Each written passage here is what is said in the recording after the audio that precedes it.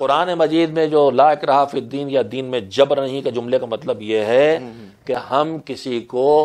जबरदस्ती gun point पर